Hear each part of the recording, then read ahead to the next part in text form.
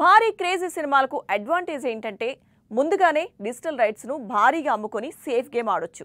ఈ నేపథ్యంలో ప్రస్తుతం కొన్ని సౌత్ అండ్ నార్త్ మూవీస్ రిలీజ్కు ముందే డిజిటల్ రైట్స్ రూపంలో వంద కోట్ల కన్నా ఎక్కువగానే రాబట్టాయి. తమిళ legendary director Mani Ratnam మలిచిన historic fictional movie Ponniyin Selvan. చోళరాజుల వైభవాన్ని రాజనీతిని కళ్ళకు కట్టిన ఈ సినిమా పాన్ ఇండియా రేంజ్లో రీసెంట్గా రీసెంట్గా రిలీజ్ అయిన సంగతి తెలిసిందే. తమిళనాట రికార్డు స్థాయిలో వసూళ్ళను రాబట్టింది.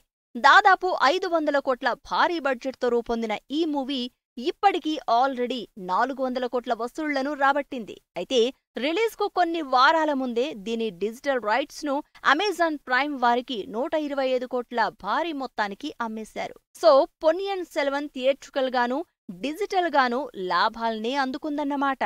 Bollywood star hero Salman Khan latest movie Kisi Ka Bhai Kisi Ki Jaan. Farhad Samji director. Pooja Hegde హీరోయిన్గా నటిస్తూ ఉండగా విక్టరీ వెంకటేష్ కీలక పాత్ర చేస్తున్నాడు. జగపతి బాబు మరో ముఖ్య పాత్రను పోషిస్తున్నారు.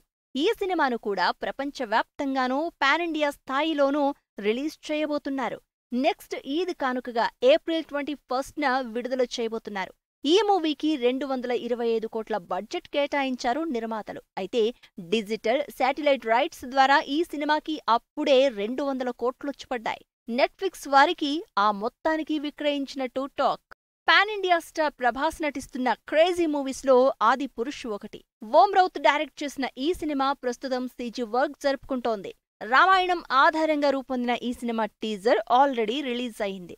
నెక్స్ట్ ఇయర్ జనవరి ట్వెల్త్న వరల్డ్ వైడ్ గాను పాన్ ఇండియా రేంజ్ లోనూ సినిమా రిలీజ్ కాబోతోంది. ఈ సినిమాను దాదాపు ఐదు వందల కోట్ల భారీ బడ్జెట్తో నిర్మిస్తున్నారు. అయితే డిజిటల్ రైట్స్ రూపంలో అప్పుడే దీనికి రెండు వందల యాభై కోట్లు దక్కాయి.